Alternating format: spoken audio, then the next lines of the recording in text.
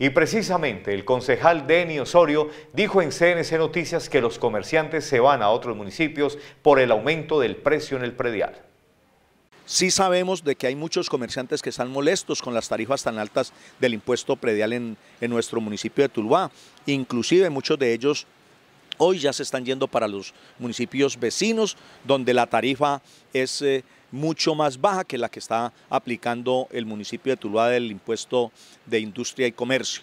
Entonces es importante eh, mirar al detalle estos recursos para poder eh, saber qué es lo que está pasando con el municipio de Tuluá y que no vayamos a constreñir tanto a los comerciantes que al final resulten yéndose del municipio y que a corto o mediano plazo eh, ya no esa renta se nos vaya al piso.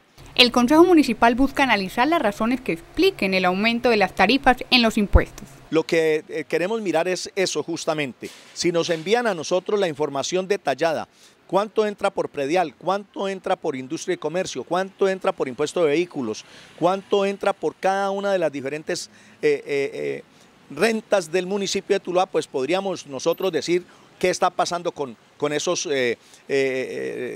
rubros rentísticos del municipio. Hoy no tenemos conocimiento de eso porque no nos dieron esa información. Hoy no tenemos la información fidedigna para decir por industria y comercio entró 5 mil, 6 mil, 7 mil millones de pesos de los 55 mil que recibió el municipio de Tuluá por ingresos propios de libre destinación.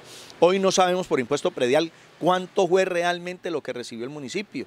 El Consejo Municipal espera un informe que le permita estudiar el impuesto predial de industria y comercio, que explique las razones del aumento en las tarifas.